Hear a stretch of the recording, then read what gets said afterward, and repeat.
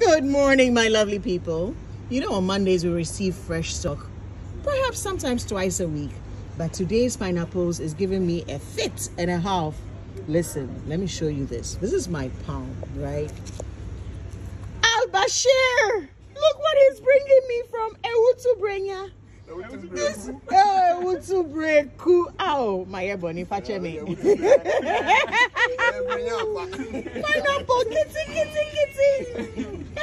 Pineapple, like kitty burger. Come on, pineapple, let's send them. po.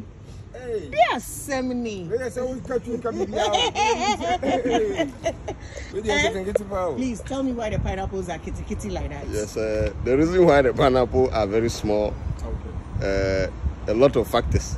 It could be the soil, it could be the weather, and the weather. I'm saying the weather because for the for the past five months we have not received any natural rain, and we could not, and we couldn't get water to also uh, till the what do you call it the soil. So they matured as babies. that is it. Jesus. Because the pineapple, after forcing it, if you grow it, it will take one, one, one year, five months. So cute. Because So- are these ones sweet? One year, five months. Yes. So if you force it, it will take five months. So the period of the five months, if you don't get a natural rainfall or you don't have irrigation, there's no way your pineapples will become very big.